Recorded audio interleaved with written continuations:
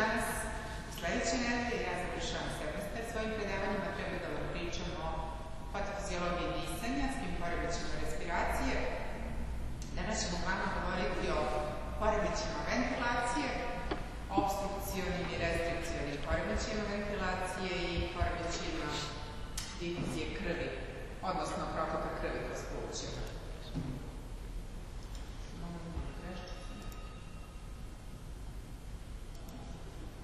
Dakle, svi poremećaji disanja mogu se podeliti na ove četiri velike grupe. Poremećaj ventilacije alveola, poremećaj difuzije glasova, poremećaj pronika tečnosti krvi u plućima i poremećaj ritma disanja. Samo ova poslednja grupa a priča će biti ostavljena za sledeću nedelju, pri čemu ću dodati da ne bi bilo dosadno još nešto malo o insuficijenciji pluća, odnosno poremećaja pluća i drugih organa u organizmu. A danas ćemo sve ovo ostalo veliko i važno završiti, priču o poremećima ventilacije alveola, o poremećima difuzije gasova, misli se naravno kiselnik i ugljen dioksid, i poremećima prometa tečnosti i krvi u plućima. Što se tiče poremećaja ventilacije alveola, možemo i danas ćemo govoriti o hipoventilaciji, hiperventilaciji, obstrukcijonim poremećajima ventilacije, restrikcijonim poremećajima ventilacije, načinima za njihovo prepoznavanje i poremećajima ventilacijono-perfuzionog odnosa. Da krenemo priču o hipoventilaciji. Pre nego što uvedem sam termin hipoventilaciji, ispričamo osnovne etiološke faktore, načine na koji ti etiološki faktori dovode do određenih poremećaja u organizmu, da se podsjetimo koliki su normalni parcijalni pritisci kiselnika i ugljen dioksida u arterijskoj krvi. Normalna vrednost parcijalnog pritiska kiselnika u arterijskoj krvi jeste od 9,3 do 14,7 kPa, znači ima taj relativno širok opseg normalnih vrednosti, pri čemu ova vrednost zavisi od godina starosti. I egzaktna vrednost parcijalnog pritiska kiselnika u arterijskoj krvi je data ovom formulom. 13,6 manje određeni koeficijent 0,44 puta starost u godinama. Sve se onda izražava u kilopaskalima. Da bismo znali šta je respiratorna insuficijencija, odnosno nemogućnost organizma da snabde organe, tkiva, ćelije, odgovarajućeg količinom kiselnika, moramo znati opseg normalnih vrednosti da bismo sve što je ispod te ide vrednosti proglasili respiratornom insuficijencijom što se tiče PaO2, a što se tiče parcijalnog pritiska CO2, ona iznosi normalno u arterijskoj krvi između 4,8 i 5,9 kPa. Sve što je preko neke vrednosti doprinosi da respiratorna insuficijencija bude globalna ili prava respiratorna insuficijencija. U priči o hipoventilaciji čućete, kao i u većini ostalih današnjih priča, da ćemo uglavnom pričati o hipoksemiji, dakle smanjenoj koncentraciji pravilan termin, ako da budemo precizni, smanjenom parcijalnom pritisku kiselnika u arterijskoj krvi, a samim tim i smanjenom doturanju do tkiva i iskorišćavanju od strane tkiva, postoji više različitih uzroka hipoksemije.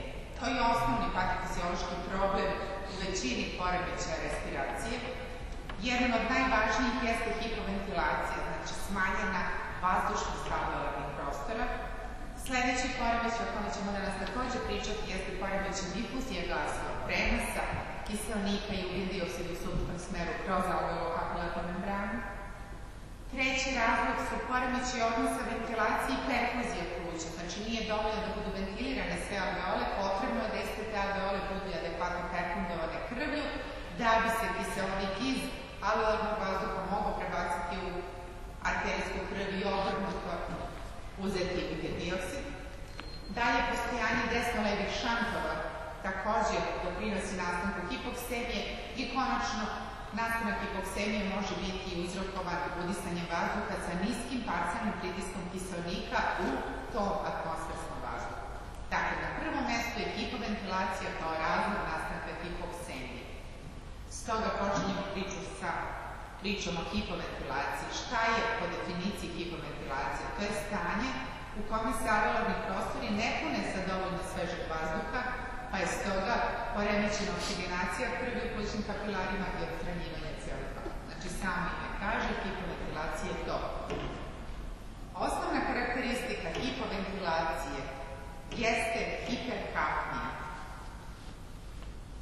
Zbog toga što na hipoksemiju, koja takođe može biti prisutna u hipoventilaciji, utiču i neki drugi faktori koje smo malo pre naveli, a na hiperkapniju direktno utiče ventilacija alveolarnog prostora.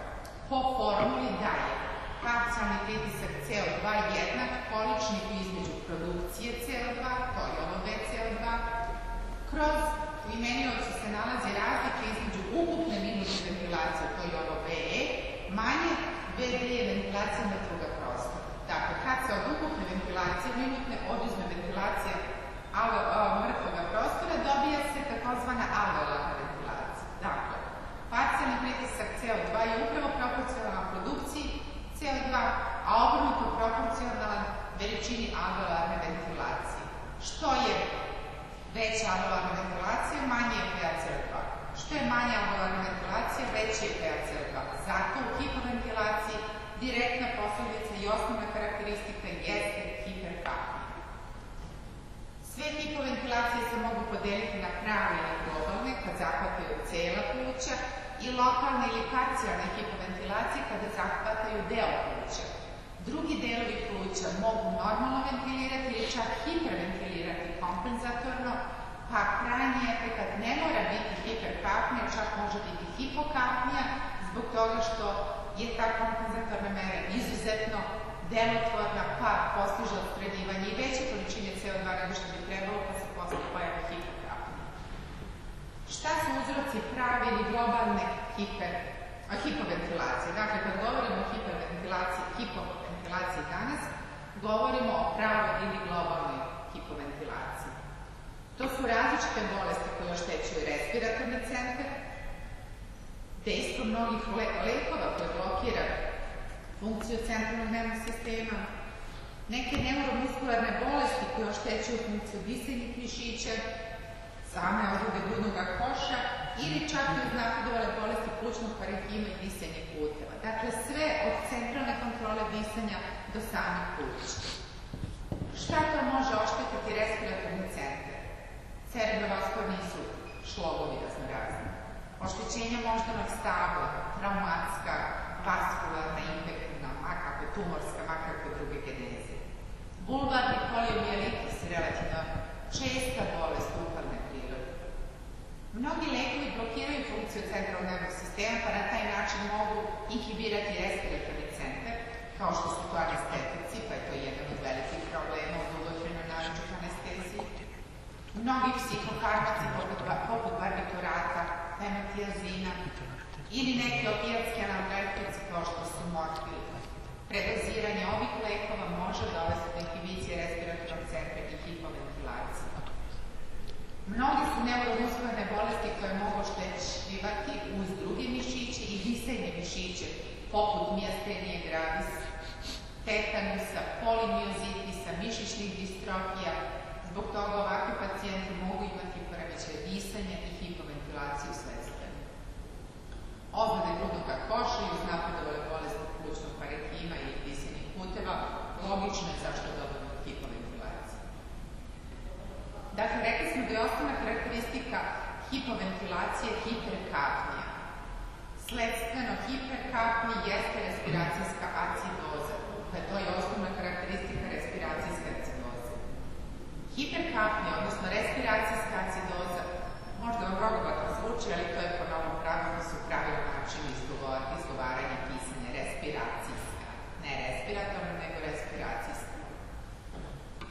Posledice hiperkapnije, odnosno respiracijske acidoze, jesu poremećaj od strane centralnog sistema koja je na ove koncentracije najosjetljivije i poremećaj od strane srca. Kao posljedica hiperkapnije menja se regulacija disanja jer se dugotrajnom postojećom hiperkapnijom smanjuje osetljivost respiratornog centra na parcijalni pritisak CO2. Vi znate da je respiratorni centar osetljiv na parcijalni pritisak CO2, na parcijalni pritisak O2 i na koncentraciju vodonikovih jonova. Direktno je osetljiv na parcijalni pritisak CO2, pa kada se u toku dugotrajne hiperkapnije koja se nalazi, koja se sreće u hipoventilaciji, smanji njegova osetljivost, onda kod bolesnika koje vi lečite vrlo ambiciozno i uspešno kao mladi lekar, reguliše ta hiperkapnija. Tako osetljiv respiratorni centar može biti i jeste manje osetljiv na parcijalni pritisak kiselnika i može doći do daljeg produbljivanja patološkog stanja. Zbog toga ovakvim pacijentima morate idealno je davati maske, odnosno kiselnik preko maske sa određenom koncentracijom CO2, odnosno sa određenim parcijalnim pritiscima kiselnika, da ne biste doveli do naglog pogoršavanja stanja kod pacijenta, kažem, zbog njegove smanjene osetljivosti respiratornog centra na PaCO2 i PaO2. Efekat hiperkapnije na CNS je i vazodilatacija krvnih sudova mozga, zatim povećanje pritiska cerebrospinalne tečnosti i kao posljedica svega ovoga poremeća i svesti koje može ići do pospanosti pa sve do takozvane CO2 narkoze. Poremeći srca koji su posljedica hiperkapnije, posljedica su vazokonstrikcije krvnih sudova pluća. Dakle, hiperkapnija kao i hipoksija i acidoza u plućima prave vazokonstrikciju potpuno suprotno nego na krvnim sudovima u sistemskoj cirkulaciji. Posljedica vazokonstrikcije plućnih krvnih sudova jeste plućna hipertenzija, što dugotrajno može dovesti do insuficijencije desne polovine srca. Ta izolovana insuficijencija jedne polovine srca obično ne traje dugo, jer zbog hipoksemije koja u hipoventilaciji nastaje se smanjuje oksigenacija koronarne krvi, pa to dovodi do hipoksije miokarda, pa se obično toj insuficijenciji desnog srca pridružuje insuficijencija levog srca, znači imate jednu globalnu srčanu insuficijenciju.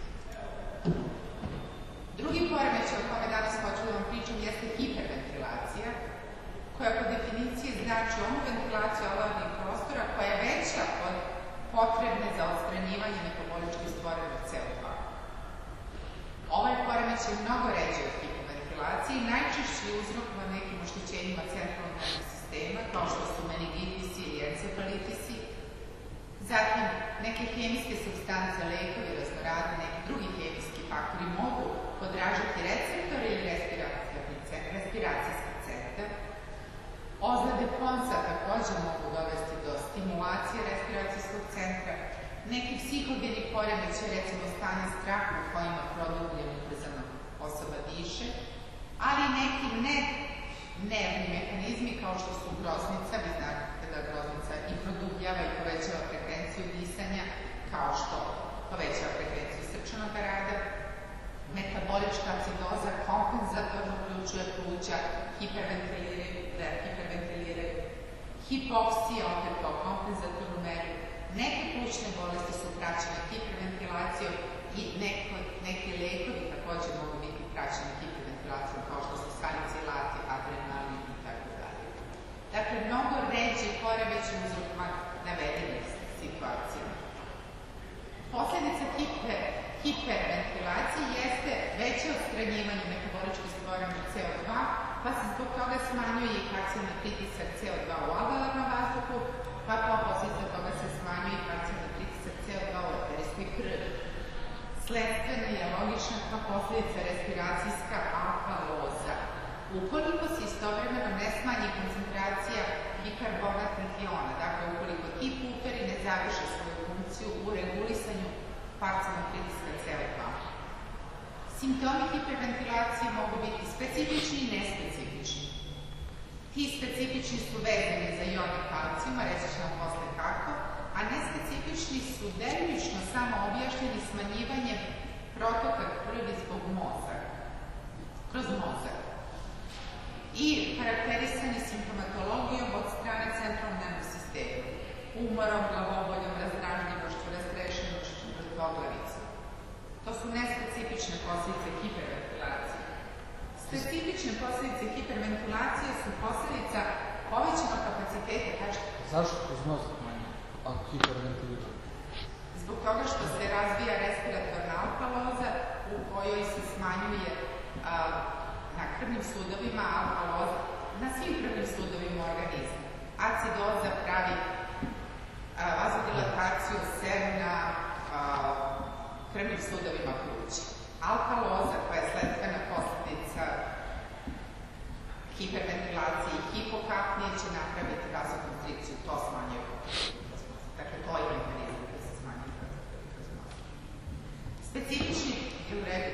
Da. Specifični poremeći posledice hiperventilacije, odnosno hipokapnije, jesu posljedica povećana kapaciteta proteina plazme da vežu kalcijumove ione i zbog toga se smanjuje koncentracija kalcijumskih jona u plazmi, pa to povećava nadražljivost nerava i mišića. Vi znate da su kalcijumski joni blokatori natrijumskih kanala. Kad god nema dovoljno kalcijumskih jona, lakše ulazi natrijum u ćeliju i povećava se nadražljivost Zbog toga su posledice ove hipokapnije, odnosno respiracijske alkaloze, ukočeno zbockanje u rukama, znači znaci na povećane nadražljivosti svih nerava i mišića. Bockanje se to osjećamo možda u rukama, u nogama, na usnama, na jeziku. Karpopedalni spazam je kako posledica te smanjene koncentracije kalcijuma, bolovi u krčavim mišićima, raznorazni konvulzije mogu biti takođe posledica hiperventilacije. Posebno vaše ispitno pitanje su obstrukcioni i restrikcioni poremeći ventilacije i način njihovog razlikovanja.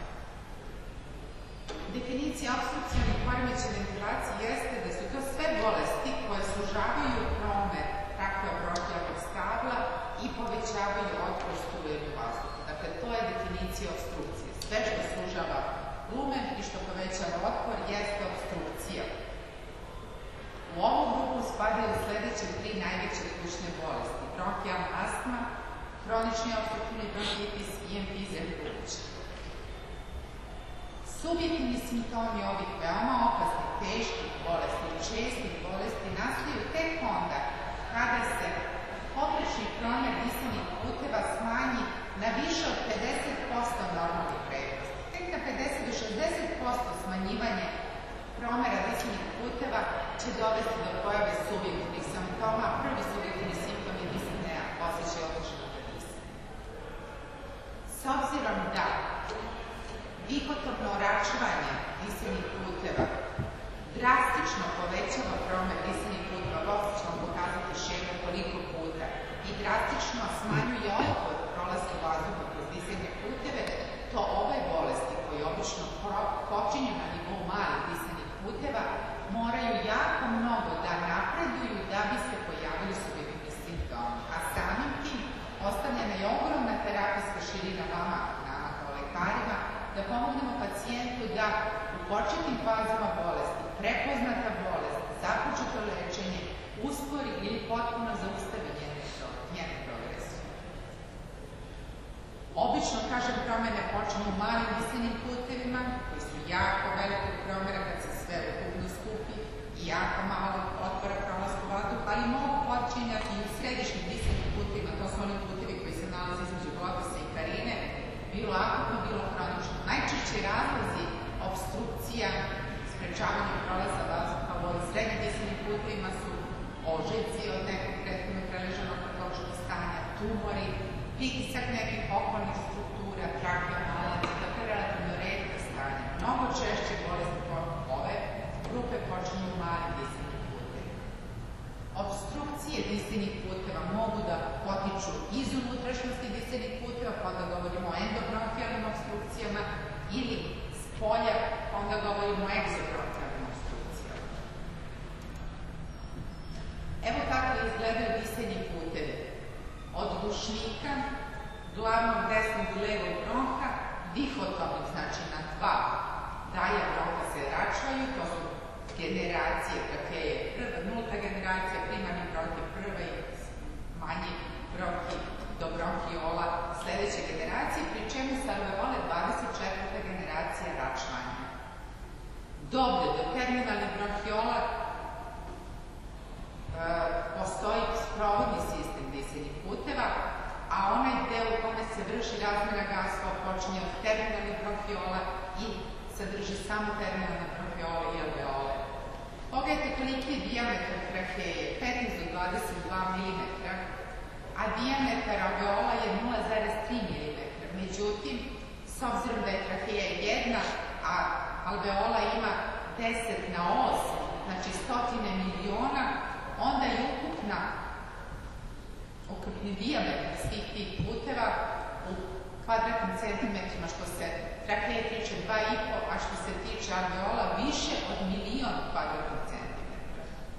Dakle, drastično se povećava promer disenih puteva i drastično se smanjuje otpor protoku vazduha. Zbog toga, s obzirom da bolesti počinju obstrukcioni, bolesti počinju ovde, je velika terapijska širina lekara. Najčešći razlozi endobronhijalne obstrukcije jesu ovi razlozi. Povećana sekrecija sluzi koja je povećanog sadržaja mukopolisakarida i povećane viskoznosti, termin za ovo povećano lučenje sluzi je diskrinija. Drugi razlog je edem sluznice disenih puteva i treći razlog je bronhospazam. Diskrinija ili povećano lučenje sluzi koje je više viskozna, koja ima veću koncentraciju mukopolisakarida, može nekada biti višestruko u odnosu na normalne vrednosti, može se meriti stotinama mililitara, čak i preko 300 mililitara sluzi bronhijalne može se dnevno stvoriti, koja je idealna podloga za razložavanje bakterija, pa često ta sluz ima karakteristike gnoja zbog Drugi razlog endobronhijalne obstrukcije jeste edem disenih puteva koji može biti takozvani suvi ili vlažni edem. Vlažni edem sluznice disenje puteva najčešće je posledica obstrukcije leve obstrukcije, insuficijencije leve polovine srca. Kad god postoji neki poremećaj na lev ušćima u levom srcu, aortnom ušću, koronarna bolest, hipertenzivna dugotrena bolest, mitralna mana, doći će do povećanja pritisaka u levom srcu i vremenom do zakazivanja levog srca, pa će sledstvenom tome da dođe do zadržavanja tečnosti u plućima, odnosno nastanku, nastanka takozvanog vlažnog edema disenjih puteva koji će biti razlog endobronhijalne obstrukcije. Dakle, van plućni razlog, ali ovoga puta endobronhijalne obstrukcije. Suvi hronični bronhitis jeste uzrokovan upalnim procesima u samim bronhijama, u samim disenjim putevima, zbog čega će to biti kao jedan od razloga, odnosno simptoma i znakova upale jeste i otok, to će biti razlog endobronhijalne obstrukcije. Najvažniji treći razlog endobronhijalne obstrukcije je preterano osetljivo bronhijalno stablo, njegova muskulatura na različite podraže, dakle bronhospazam. Taj bronhospazam može biti uzrokovan mačim različitim hemijskim podražajima normalnim fiziološkim koncentracijama, recimo histaminom, acetilkolinom, serotoninom. Međutim, na taj način hipersenzitivno bronhalno stavno, bronhalo je pravilno, pravila termin ponovne, ne bronhijalno, može da reaguje na izlaženje na hladan vazduh. Sad izađe napolje mali ili stariji asmatičar, na hladan vazduh će možda odreagovati bronhospazam. Jako zasićena vodena para, odnosno vazduh jako zasićen vlagom, takođe može biti razlog za bronhospazam. Fizički napor, čak i minimalno, može biti razlog za bronhospazam. Sve to može biti provokacija asmatičnog napada. U bronhijalnoj astmi postoji više komponenta koji dovode do ove bolesti. Jedan od njih je obstrukcija disenih puteva nečim, drugi je upala disenih puteva koja često komplikuje ili uzrokuje obstrukciju i treća je hiperreaktivnost disenih puteva koja se manifestuje bronhospazam. Sad patogeneza, svi ovi razlozi mogu dovesti do bronhijalne, odnosno bronhalne hiperreaktivnosti na više načina. Jedan siguran mehanizam koji to postižu jeste preosetljivost tipa 1, posredovana imunoglobulinima klase E. Oni, vezujući se za svoje ciljne ćelije bazokili mastocite, dovode do njihove degranulacije i oslobađanja njegovog sadržaja, histamina, proteolina, leukoprijena i tako dalje. Sa druge strane, aktivacija makrofaga dovodi do produkcije citokina, između ostalih oni stimulišu CD4 posredničke te limfocite koji zajedno sa znači, citokini i ovi medijatori anodraktičke reakcije dovodi do bronhospazma i do povećanja propustljivosti kapilara, ali neki citokini dovodi do hemotaksija, ozilofila, nemotrofila i drugih ćelija zapaljenja, pa se upalni proces kalimi na za zapaljenja koji te ćelije zapaljenja oslobađaju, oštećuje epitalne ćelije bronhalne sluznice, što dovodi do smanjivanja njihove odbrambene moći. Jedan od pokazatelja smanjivanja njihove odbrambene moći jeste smanjena inaktivacija nekih biološki aktivnih peptida, zbog čega, čega je njihovo dejstvo izraženije. Dalje, jedan od razloga nastanka bronhospazma jeste jače podržaj senzitivnih nervnih završetaka u ovoljnoj sluznici, zbog čega se stimuliše stvaranje nekih neuropeptida, kao što je substanca P, koja sa svoje strane stimuliše mastocite da luče histamin, koji opet pravi ono što pravi, a to je bronhospazma, vasodilatacija, povećanje propustljivosti. Konačno, poslednji mogući mehanizam, verovatni mehanizam zajedno sa svim ovim prethodnim, jeste i smanjena funkcija i broj beta-2 adrenergičkih receptora, koji je prisutan kod ovih pacijenata, istovremeno povećavanje broja i aktivnosti alfa-adrenergičkih receptora i cholinergičkih receptora. Kao posljedice i smanjivanja broja beta-2 i povećavanja broja cholinergičkih i alfa-adrenergičkih receptora, smanjuje se intracelularna koncentracija cikličnog AMP-a, povećava intracelularna koncentracija cikličnog GMP-a, što kako oboje dovodi do bronhospazma. Eto više mogućih mehanizama za nastanak bronhospazma, ključni mehanizam kojim se postiže obstrukcija endobronhalna obstrukcija. Ovo je prava patološka fiziologija. Dakle, objasniti mehanizam na koji etiološki faktori dovode do ispoljavanja različitih patoloških stanja.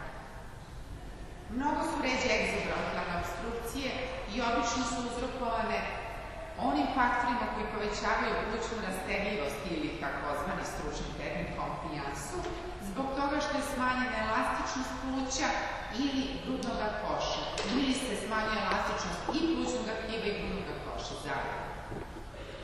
Posledica te egzobronhalne obstrukcije je povećanje volumena vazduha koji se zadržava u plućima, što zapravo predstavlja emfizem.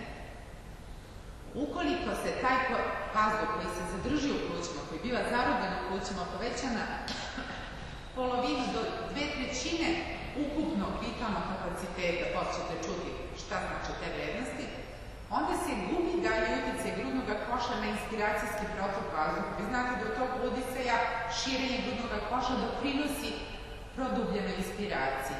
Kada se poveća taj zarobljeni vazduh na te vrednosti, pola do dve trećine ukupnog vitalnog kapaciteta, nema više tog učinka grudnog koša, pa se dalje smanjuje pa se dalje sužavaju bronhalne cevi, pa to povećava dalje otpor strojenju vazduha, što između ostalog oštećuje čišćenje pluća, recimo mehanizam iskašljavanja ili pokretanja trepi bronhalnog epitela i kao posljedica toga može se razviti upalna reakcija, dakle kronični bronhitis, što onda sa svoje strane doprinosi daljoj povećanoj obstrukciji. Dakle, ovom početnom egzobronhilnom razliku, razlogu obstrukcije pridružuje se i kronični bronhitis sa edemom sa svojim povećanom sekrecijom, pa se na taj način pridruži endobronhijalnom uzroku obstrukcije. Šta su obstrukcije disajnih puteva, znači obstrukcije ovih respiratornih bolesti? Šta su posledice? Prva posledica je povećanje količine vazduha koji se zadržava u plućima, to je takozvani volumen pulmonum aluctum. Odnosno, pojavljuje se obstrukcioni plućni emfizem. Sledeća posledica, menja se intrapleuralni pritisak. On postaje sve negativniji što je bliže iz kraja inspirijuma, a približava se atmosferskom pri kraju ekspirijuma, što nije normalna situacija.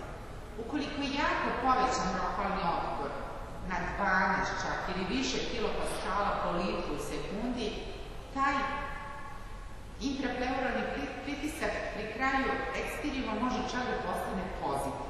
Šta to sa svoje strane znači? To znači poremećaj priliva krvi u srce. Venski priliv u desnu polovinu srca se smanjuje, pa to smanjuje udarni volumen srca, pa to smanjuje minutni volumen srca i perfuziju.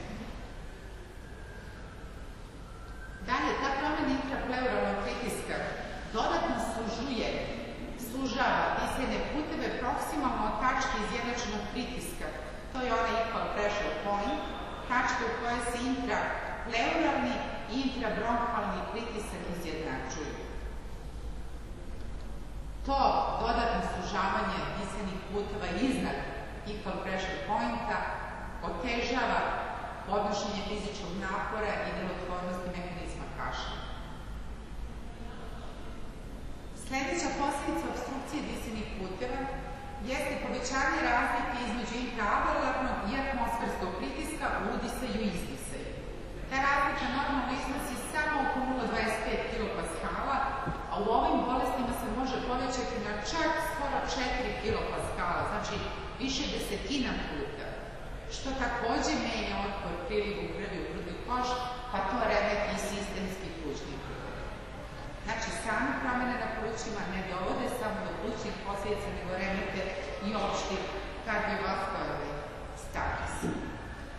Druga grupa bolesti jesu restrikcione plućne bolesti ili restrikcioni poremeći ventilacije, koji podrazumevaju sve bolesti kod kojih je smanjena rastegljivost plućnog tkiva i grudnog koša ili grudnog koša.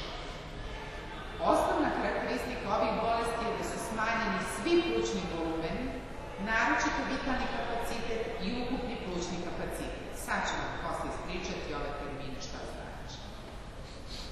Uzroci restrikcionih bolesti mogu biti od strane grudnog koša, pleure, respiratornih mišića ili plućnog tkiva. Sve skolioze, znači deformitete grudnog koša u makom smeru, neke hiruške intervencije sa urađenom torakoplastikom mogu smanjiti pokretljivost grudnog koša i time dovesti do restrikcije onog plućnog tkiva koji učestvuje. Prepuna pleuralna šutina mačine, vazduhom, tečnošću, gnojem, steleznim sadržajem može takođe fibrozna kesa ukoliko je ožiljno izmenjena, može sprečavati pokretanje plućnog tkiva.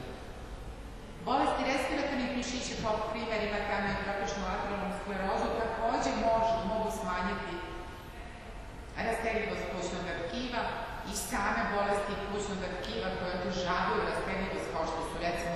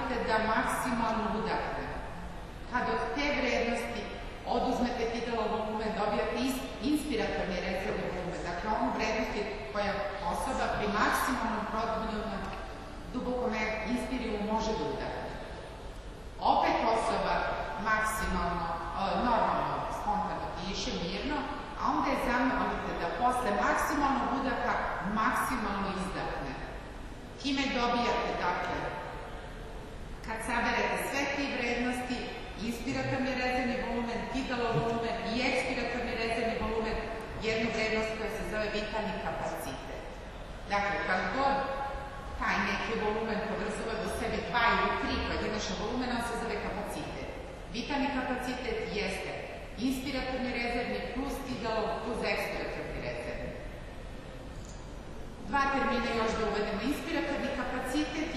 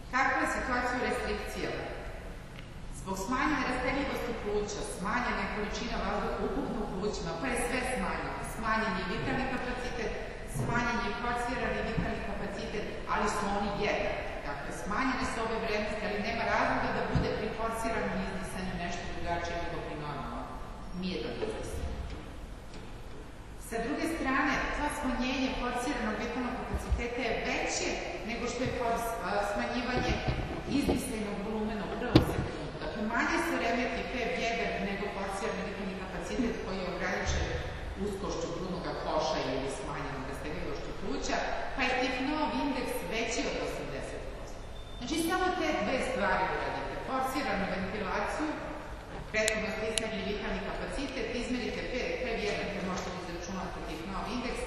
Ukoliko je situacija takva da je PVC manje od vitalnog kapaciteta i tih novi indeks ispod 80, to je obstrukcija. Ukoliko je jednak PVC vitalnom kapacitetu, ali su manji nego što bi trebalo da budu normalni, to je, iako je tipnov indeks preko 80%, to je restrikcija. Dakle, bolesti koje se često mešaju jednostavnom diagnostikom pomoću spirometrije statički i dinamički možete razlikovati. Koje to bolesti mogu napraviti restrikcije ventilacije? To su bolesti grudnog koša, rekao sam, skolioze, na primjer, iskrivljenost grudnog koša, iskrivljenost kičmenog stupa, levo-desno, jer oznaka za skoliozu. Posljedica takve skolioze mogu biti hipoksemije i hiperkapnija iz više razloga, pre svega zbog smanjivanja difuzionog kapaciteta pluća, jer je nesrazmeran odnos ventilacije i perfuzije pluća. U nekim delovima pluća ventilacija je poremećena, a perfuzija očuvana u drugima i obrnuta situacija, te zbog toga difuzija poremećena. Svejedno da li su dobro ventilirane alveole, a nemaju krvi, ili su slabo ventiliraju, ventilirane, a imaju dovoljno krvi, difuzija tu ne može adekvatno se obavlja. Dalje, u restrikcijskim poremećima ventilacije postoje mnogo područja koja su atelektatična.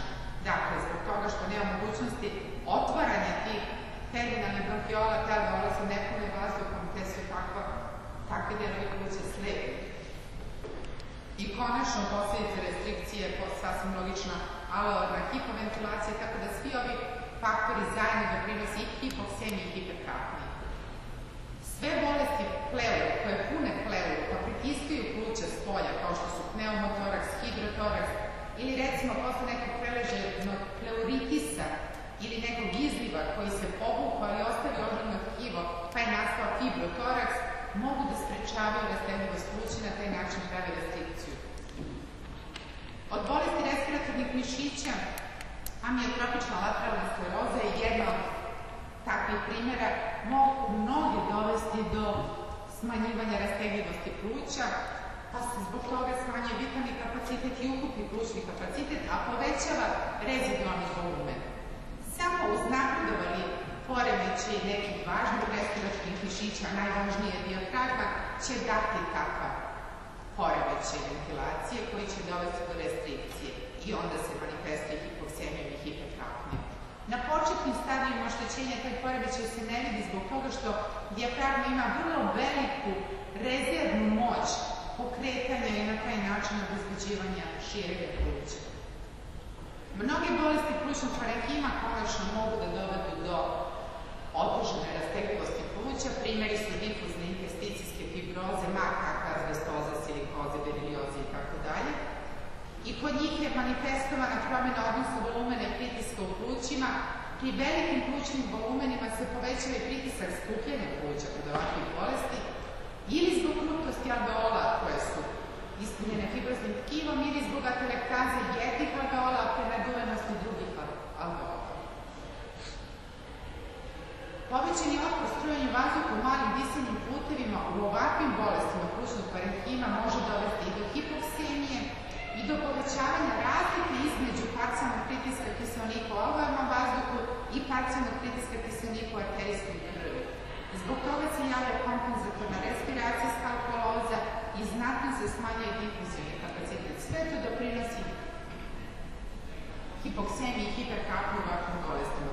Konačno, kod ovakvih bolesti povećana je ventilacija mrtvog prostora, pa je sve to razlog zašto se bolestima plućnog parenhima može sresti restrikcijski poremećaj ventilacije.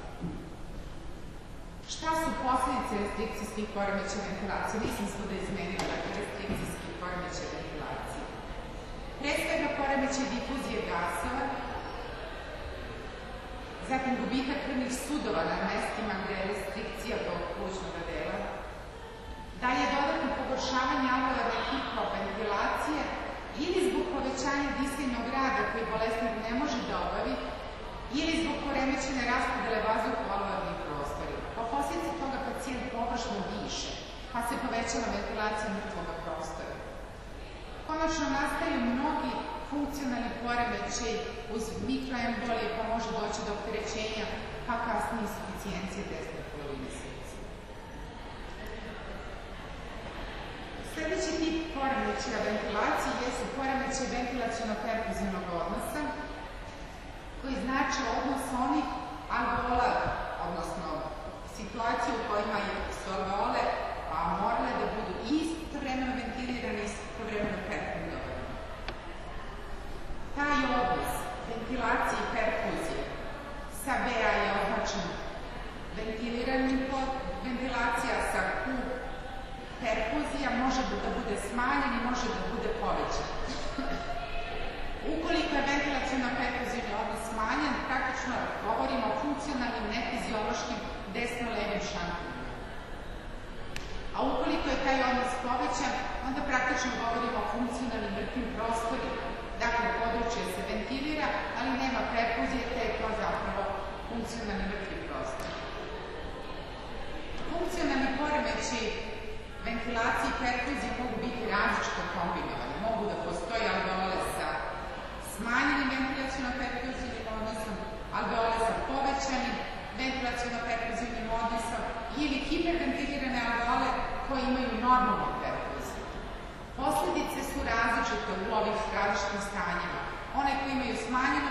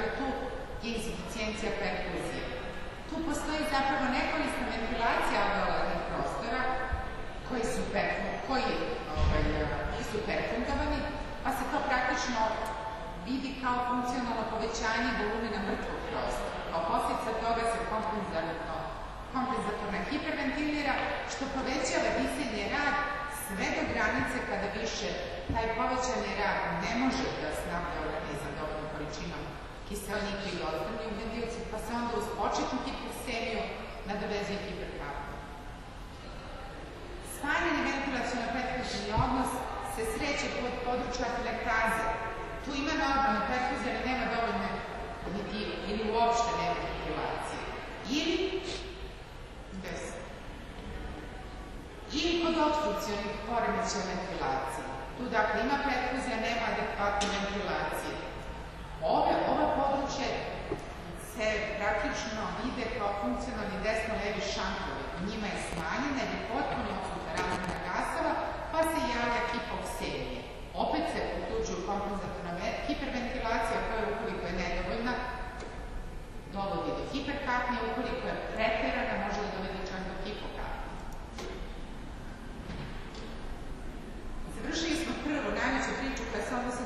lakše ventilacija alveola. Sledi nam poremećaj difuzije gasova i poremećaj prometa krvi u plućima.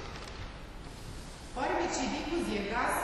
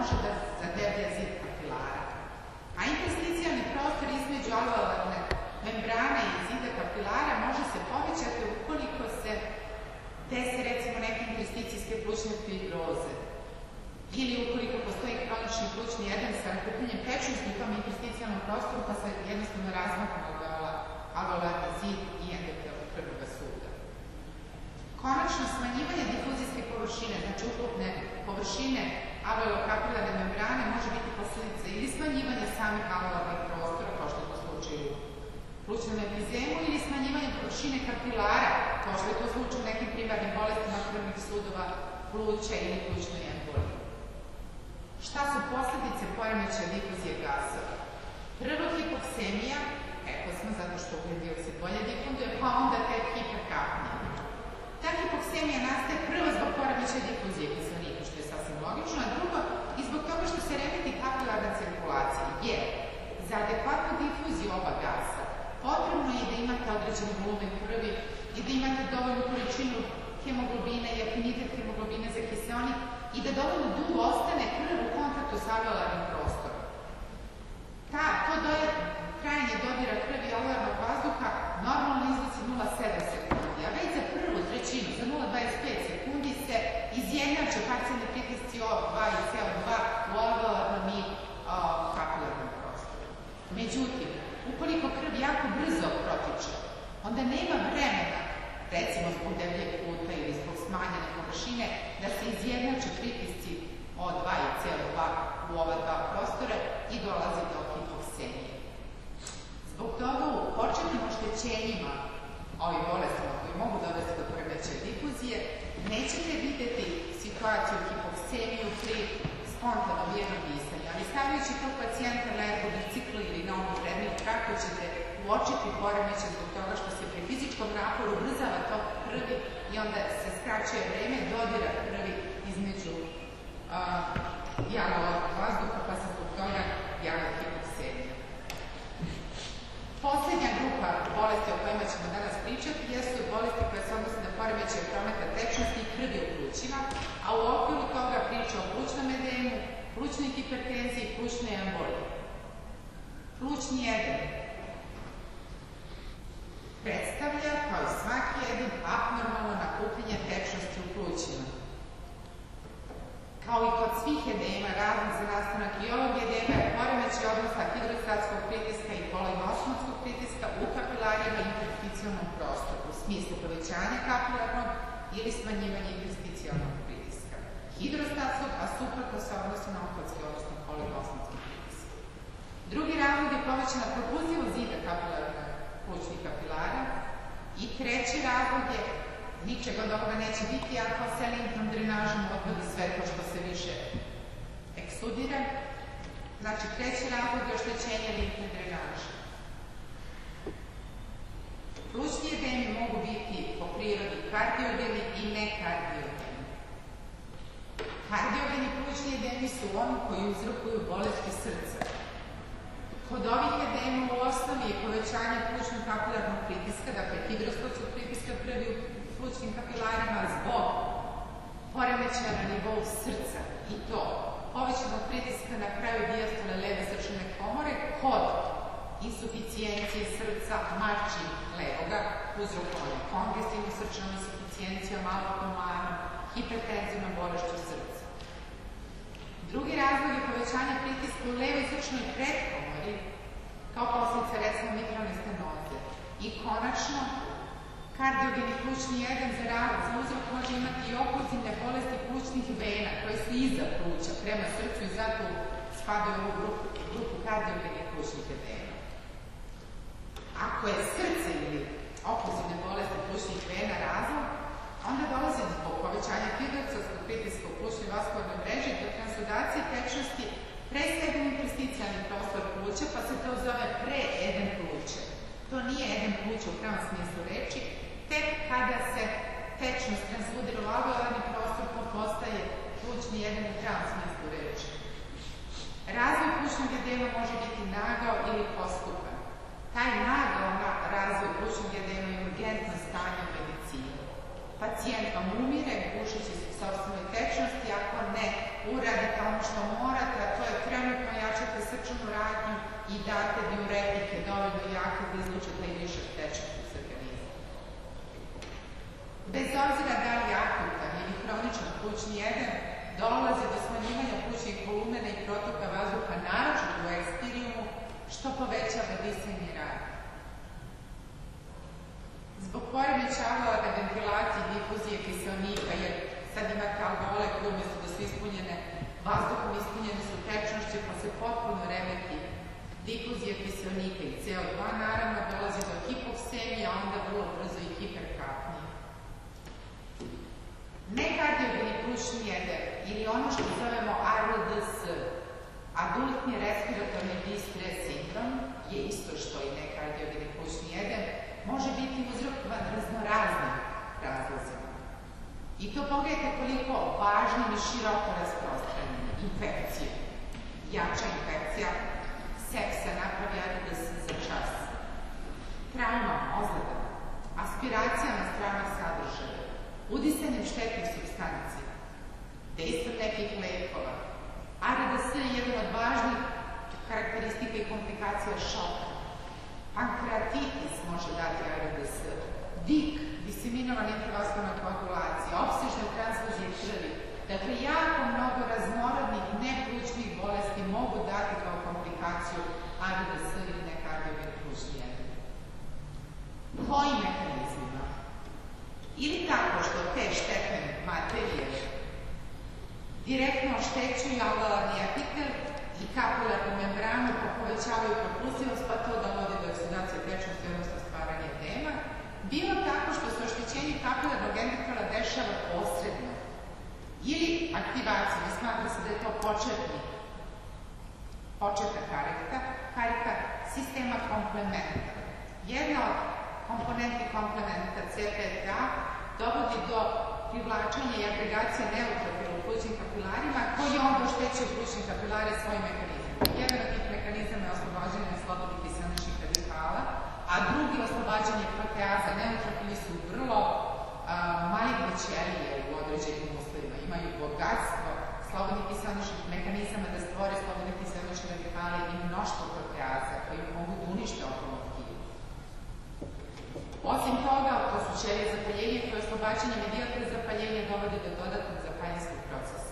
Drugi mehanizam kojim se kapilarni endotel posebno može oštetiti jeste aktivacija sistema koagulacije, a neki, recimo, raspadni produkti fibrinogena dodatno mogu oštete zid kapilara, a treći mehanizam oštećenja kapilarnog endotela je agregacija trombocita na već oboljeni endotel pa se stvaraju mikrovaskularne tromboze. Eto više razloga da se indirektno oštećuju kapilar, kapilarni endotel. I konačno treći mehanizam patogenetski u stvaranju jeste oštećenje alveolarnih pneumocita tipa 2. To su one ćelije koje stvaraju surfaktant, toga kad se one ošteti se smanjeno stvori surfaktant, pa nastaje atelektaze. Eto razloga zašto takva pluća ne može da bude adekvatna u difuziji gasova i tako dalje.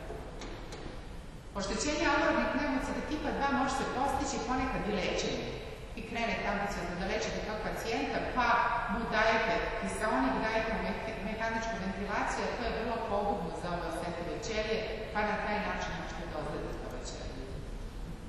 Šta su posledice nekardiogenog plućnog edema? Uglavnom hipoksemija, i to je uzrokovana sa više strana, ili smanjivanje ventilacijona perfuzijnog odnosa u atelekatičnim područjima, tu nema ventilacije, ima perfuzije, ili je poremećena difuzija kiselnika zato što je jedan pluća pa je proširena ovaj, ne proširena, nego zadinjala alveolokapilarna membrana, ili postoji intrapulmonalni desmolevi šank. Dalje, nekardiogenog plućnog edema i smanjena elastičnost, smanjenje elastičnog otpora pluća, pa se povećava funkcionalni rezidualni kapacitet i rastedljivost pluća. Zbog toga se javlja i kompenzatorna hiperventilacija jer su nadraženi bioreceptori, što najpre sprečava hiperkapnju. Čak zbog hiperventilacije ili izrazite može da se stvori hipokapnija, ali vremenom zbog pretjeranog fizičkog rada, disajnog rada kod nadržanih receptora dolazi do njihove insuficijencije, pa dolazi do sve slabije disajnog rada, pa to dovodi do pridruživanja hiperkapnje. Kada se u jednom trenutku s hipoksemijom pridruži hiperkapnja, nastaje opšta respiratorna insuficijencija. I ova bolest, ARDS, je vrlo opasna bolest. Pogledajte kolika je neposredna smrtnost u ovoj bolesti. Oko 50% pacijenata umre od ARDS-a. Od 2 jedna. Ukoliko preživi oni drugi, kasnije posljedice su i različiti su poremeći kod takve pasivne ventilacije, perifuzije, difuzije gasa. Drugi, druga bolest koja se odnosi na poremeće prometa krvi kroz pluće jeste plućni edem. Plućni edem, Mislim, izvinite, još uvek sam na priči o plućnom edemu. A, šta su još posledice plućnog edema? Poremeći respiratornih funkcija u plućnom edemu su sasvim logična posledica plućnog edema. Zbog prepunjenosti plućnih kapilara, jer je recimo povećan pritisak u levoj srčnoj komori kod kardiogenog, povećava se u početku difuzioni plućni kapacitet i fakcijalni pritisak kiselnika.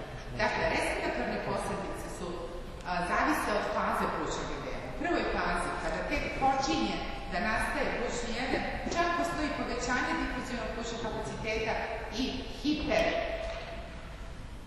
oksemija, povećan parcijalni pritisak kiselnika. Kad nastane predem pluća, dakle nakupnje tečnosti samo u intersticijalnom prostoru, onda postoji smanjen sužen lumen malih disenih puteva, pa se smanjuje plućna ventilacija i remeti ventilacijono-perfuzivni odnos, te nastaje hipoksemija, pri čemu je minimalna promena ili uopšte nema promene drugih plućnih volumena i mehanike disanja.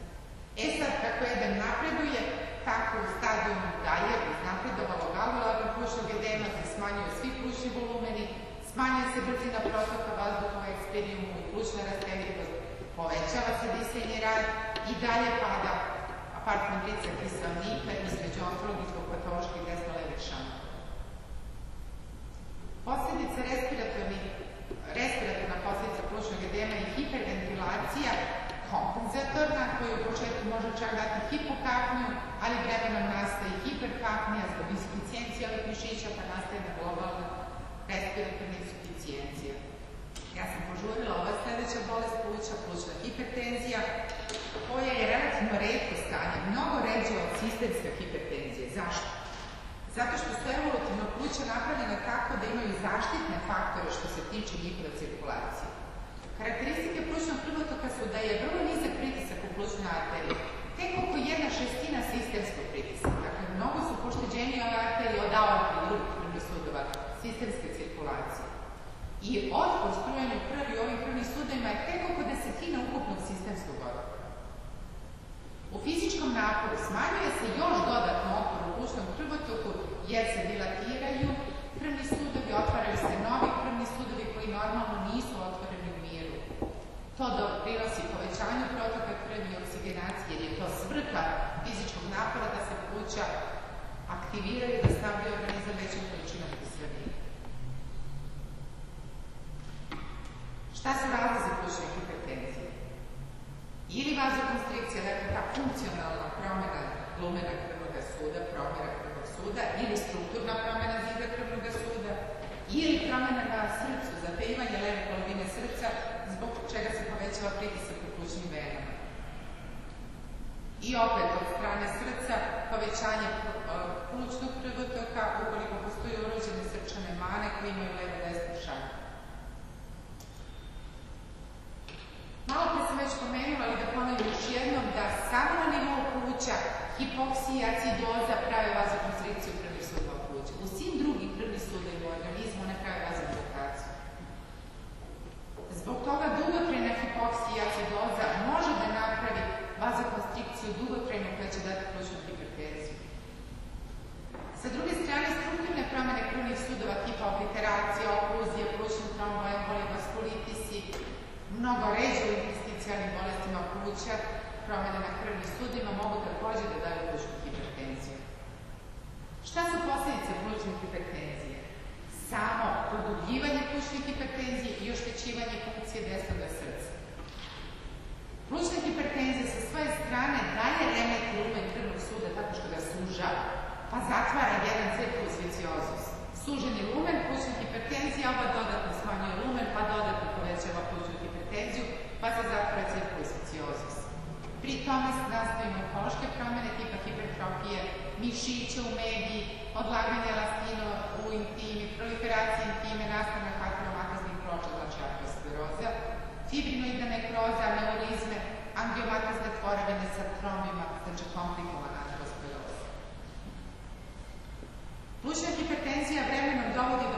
kroničnog srca, kor pulmonale kronikum, odnosno hipertrofije ili dilatacije desne polovine srca sa insuficijencijom.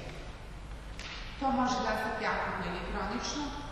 Ako je kronično nastalo, ako ovaj, plućno srce, onda se javlja pridružena eritrocitoza jer je stimulisana kostna srž zbog hipoksije da produkuje veću količinu eritrocita, pa to povećava viskoznost krvi, pa to dodatno povećava otpor plućnih krvnih sudova. I poslednja priča danas odnosi se na plućnu emboliju. Kao i sve embolije, plućna embolija predstavlja začepljenje arterije plućnog krvotoka nekim stranom, nekim stranim telom, a najčešće je to trom koji dovodi do delimičnog ili potpunog zaustavljanja protoka krvi. Pogledajte u kolikom procentu je plućna embolija uzrok iznenadne smrti. U 5 do 10% svi iznenadnih smrti plućne embolije je. A na oblikovanom materijalu 60% pacijenata koji nisu zbog toga umrli nalaze tragove plućne embolije. Dakle, mnogo više ljudi preživi plućnu emboliju nego što umre od nje. Dakle, plućna embolija je jako često stanje. Osnovni faktori rizika za plućnu emboliju su komponente ventriade, dakle usporenje toka krvi, hiperkoagulabilnost krvi ili oštećenja zida krvnog suda. Dakle, one tri komponente posledice mogu biti i respiratorni i hemodinamski poremeći. Respiratorni poremeći embolije pluća su hipoksemija pre svega, koja nastaje kako zbog embolije, tako i zbog bronhokonstrikcije, kompenzatorne, odnosno refleksne bronhokonstrikcije, zbog čega se smanjuje ventilacijono-perfuzivni odnos zbog te bronhokonstrikcije, pa nastaju funkcionalni desno-levi šantovi, pri čemu je zbog hiperventilacije kompenzatorne uz hipoksemiju pridružena hipokapija. To pravi bronhokonstrikcija. A sama plućna embolija zapravo povećava ventilacijono-perfuzivni odnos i povećava funkcionalni mrtvi prostor. Eto drugog razloga za hipoksemiju. Povećava se respiratorni rad u plućnoj emboliji i pojavljuju se atelektazi jer se oštećuju pneumociti tipa 2 i prestanje da se stvara surfaktan. Hemodinamski poremeći predstavljaju pre svega povećanje posledice plućne embolije su pre svega povećanje otpora u plućnom krvotoku zbog toga što postoji vazokonstrikcija, što dovodi do plućne hipertenzije, a to onda opterećuje retrogradnu desnu komoru koja vremenom dilatira, hipertrofiše, pa nastaje njena insuficijencija, to smanjuje venski priliv takođe u levo srce. S jedne strane opterećuje desno srce, nastaje insuficijencija desnog srca. Sa druge strane, plućna embolija smanjuje dotok krvi u levo srce, venski priliv u levo srce, pa to smanjuje minutni volumen, pa posledica masivne plućne embolije može biti jedan kardiogeni šok koji on sam za sebe može ubiti pacijenta. Možda interesantno, ali nekad se setite anatomije vaskulature pluća, plućni infarkt je relativno redka posledica plućne embolije. Zašto? Zato što plućne arterije zajedno sa bronhijalnim arterijama snabdevaju pluća krvi. Sve dok funkcionišu adekvatno bronhijalne arterije, nema čoveka pluća. Tek ukoliko iz nekog razloga zakaže bronhijalne arterije, može doći do infarkta pluća. Toliko za danas